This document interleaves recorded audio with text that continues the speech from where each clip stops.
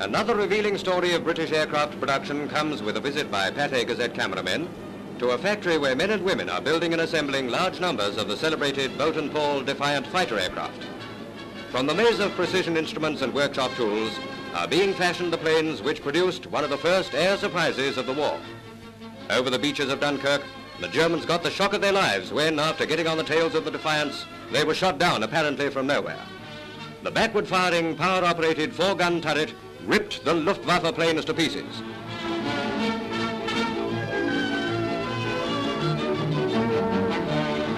In the tail unit assembly shop, girl operatives rivet the sections and fit the outer metal skin to the tailplane. With the increasing development of night-flying interceptors, the Defiant has proved an excellent night fighter and is now sharing that important duty with the Beaufighter, the American-built Havoc, and others. Elevators and rudders are here being covered.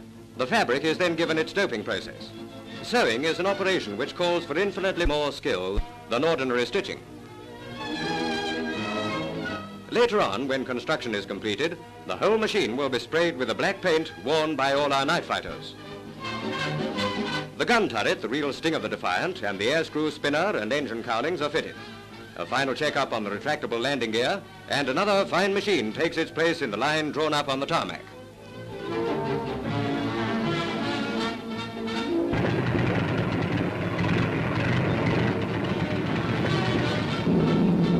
Before delivery to any squadron, the planes are taken up by test pilots, men who, as physicians of the air, diagnose every characteristic of each plane as they subject it to a whole catalogue of excessive tests.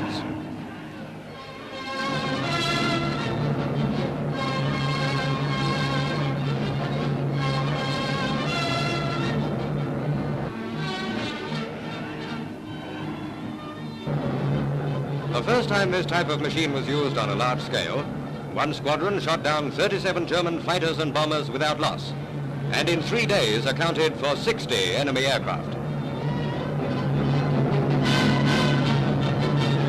Powerful, defiant, and as dauntless as the brood that gave it birth. Hello guys and welcome back to part, what is it now, 6. Right, so what this part we're going to do is we're going to paint the aircraft in its base colours. Uh, as you can see it's already been primed and if you're using what primer I've used it is this primer just here. Uh, plastic coat. Um, never heard of the company before, but it's a very good primer. It's a very nice smooth finish to everything. It's very nice. Uh, well, I'll talk about, well, the panel lines have come out very good than what I thought they would do. I've just had to go over again underneath here and whereabouts along this wing here because kind of a bit of overspray on that part. But that is all that's gone wrong with it. So well, that's alright. Now basically why I've done this now, this video before I do anything, is because uh, I'm going to put the base coat on which is going to be the XF52 Flat from um, Tamiya. But the reason why I did it now because I can't really record the next part because I'm going to airbrush it. Now I noticed there's uh, you know, painting and all that with brush. The problem is though, uh, the colour I want to get, I don't want it too dark and so I need to mix a bit of white with it and of course mixing with Tamiya colours is actually yeah and basically they're much easier to airbrush when you've mixed the colour. And plus it gives with airbrush it gives a lighter tone to the model. So I didn't want it like too dark like this I just want a light colour. So what I'm going to do is I'm going to go off and airbrush this in a lighter tone of the flat earth. Um, give it two coats of that and then come back and we'll start on the top camouflage which is the green one. I'm doing that brush paint because that's the actual camo pattern so and I've got that already in one colour. So without further ado I'm going to go ahead and do that and uh, back to you in a minute. Right, with base coat on, well, what a disappointment I have. Not with the kit, but with the paint. Uh, you won't believe this, but I've had about five different coats of paint on that, and I'm finally still not happy with it. Uh, well, I am, but it's just how it is at the minute. Basically, what it is was uh, I did the first coat, too dark. Shall I'll show you now? Use this colour, uh, Tamiya XF52. Put that on, too dark. Lighten it up, too light. The problem is though, it did also give a grit effect on the work surface, so that kind of sadly ruined it. So then uh, I stripped off, put another coat paint down in a different version, but still, still too dark. So basically what I did was I settled on this colour, which is uh, Mr. Hobby H72. Now this absolutely works a treat guys, they are nice paints, very very nice. And what I did, I used that, a bit of just a touch of white, and this is how it came out as the perfect colour. The only problem is it's not the best of surface because of this. Uh, it gave a grit effect and now it's just slightly gritty. So basically what I've done is, um, just to test it, the green camouflage, I've painted a bit brush-handed on here. And that is smooth as anything. So basically if you just run across it, it should be alright. So that's the plan so far. So basically what I'm going to do now, I'm going to add the green camo on top, which is this colour, and I'm settled with trusty paint brushing. I'm sick to death of airbrushing now. About five times airbrushing back and forth, changing, then also cleaning it out, making sure there's no grit on it, and oh, it's just a nightmare. I think I'll just stick to paint brushing to be honest, it's absolute madness. I mean, if you just listen, you can hear the grits. That's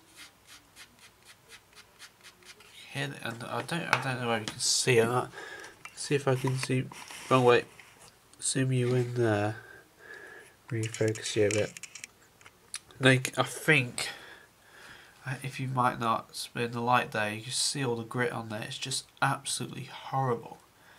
So what my plan is, I'm going to put the green camo on, sand with a very fine sponge, just the top surface off of it, and hopefully get a nice smooth surface. Oh, along the fuselage here on the engine cowl is not bad, it's just along the wings and the fuselage section at the back here. So I'm just going to, basically what I'm going, I'm going to test it first. I'm going to put the green camo on and then just try just a little bit of gloss varnish and see if it's smoothing out. But if not, then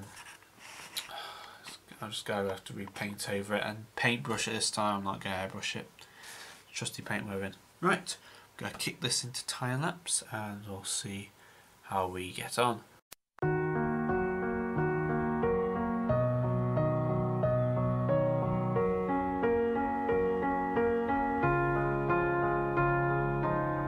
You were the shadow to my light. Did you feel us? Another star,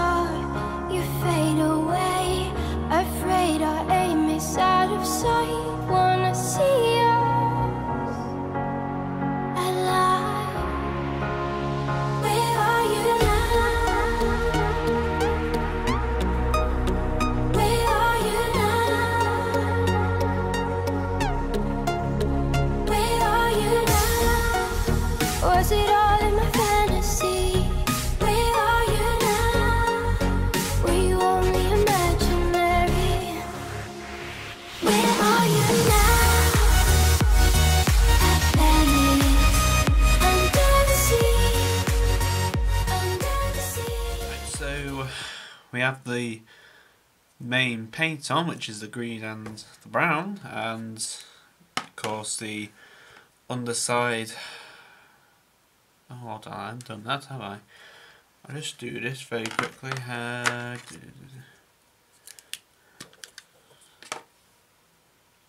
Right, so uh, what we do now is we have the all the camouflage on and very ready to go basically. Just need to seal in with the varnish. I'm using Humbrol Gloss Clear. It's a gloss varnish, uh, it's water based and it's very very good. So uh, what I've done is I did do this wing a bit because um, I wasn't 100% sure about this um, brown camouflage going on the top but I've had a look online and turned out a fairly new aircraft did have this camouflage but after weathering and everything else like that it would look a bit darker. So I'm really happy with that and plus the gloss varnish makes it darker as well. So I'm just, just going to show you what we're going to do. We're going to open this varnish if I can do. Trouble it's top. Yeah it doesn't come off. Come on. Right, got it off. There you go. So I'm going. You can do this for an airbrush. You want straight from the bottom to the airbrush and then just clear it out the end with water. But I'm just going to brush it on because it's simpler and much easier to use. I'm just going to use a little bit like that. Just to have a nice smooth finish over the top of the surface like that.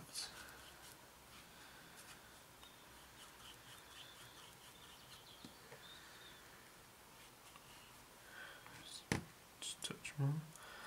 Like that. The only one little bit so I don't want too much because it wouldn't give it a nice uh, even layer. Uh, for vapour, well, it does uh, get a smell a bit. If you don't like um, breathe too much in, you should be alright. But why would you like breathe this in? It's just stupid. The amount of times I've been stopped at Hobbycraft for uh, how do I put it? Over, uh, you have to be over 18 to buy this. I am over 18. Do you have any idea? Not me at the minute. Well, I can't give it you then, but I am 18. Typical, it? I do have idea on me most of the times now whenever I go shopping. Or just driving any times. Yeah. You get the picture. Go do this. You only want little tiny, like thin layers over the top to start with, because we can go over another layer afterwards, so it should be alright. Well, hmm, good. if there's, too much access, just wipe it off a bit before it fully dries, because if you um, leave it to fully dry and then take it away, it will take the paint away as well, so just be careful when you do that. Right, so I think I'm going to kick this into time lapse and then see what happens.